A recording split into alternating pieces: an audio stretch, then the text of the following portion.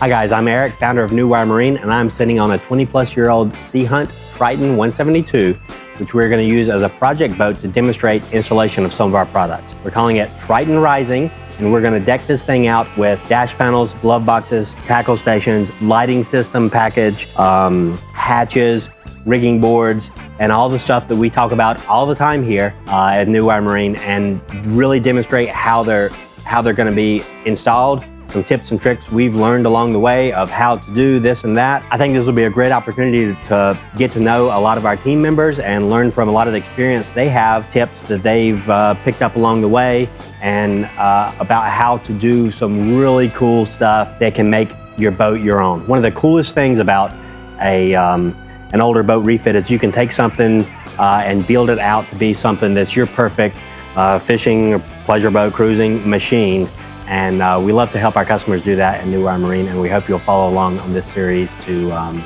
to watch this thing come together.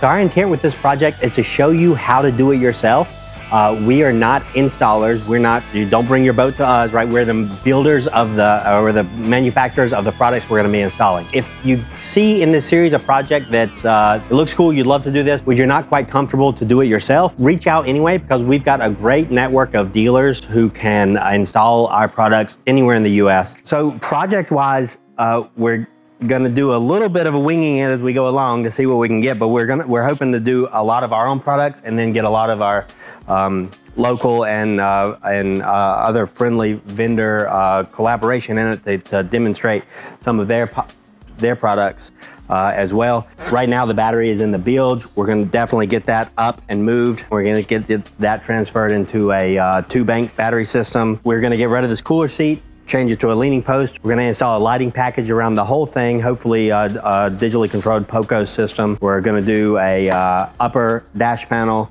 switch panel, switch type TBD, thinking about kind of a blackout theme look with uh, Lux uh, material, a nice uh, foam topper with um, uh, phone chargers and thinking about um, kind of a glove box in this area with uh, take um, with some storage in it and a battery management system. Thinking about taking this, uh, the key switch and incorporating it into, and I love to do this. This is a great project where we you, you take an OEM thing, discard the old plate, and put it into a custom dash panel where it really looks kind of built into the boat. We've lighted cup holders.